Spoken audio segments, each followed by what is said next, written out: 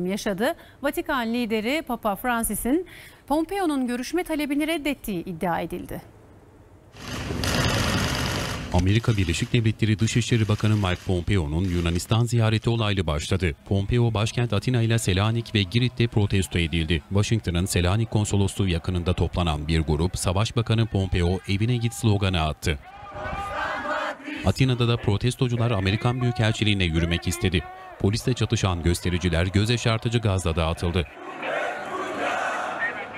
Son olarak Girit'e geçen Pompeo'ya Heraklion kentinde de tepki vardı. Pompeo ikinci durağa İtalya'ya gitmeden önce ise bir red cevabı aldı.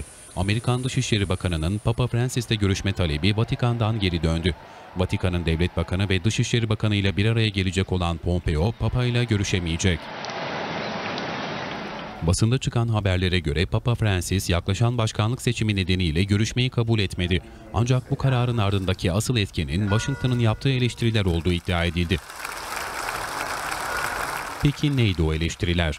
Vatikan'ın tavsiyesiyle Çin'e psikopos atanmasına imkan tanıyan anlaşma iki yıldır yürürlükte. Pompeo daha önce bu anlaşmanın yenilenmemesi yönünde uyarılar yaptı. Gerekçe olarak da Çin'in Uygur Türklerine yönelik katı uygulamalarını gösterdi.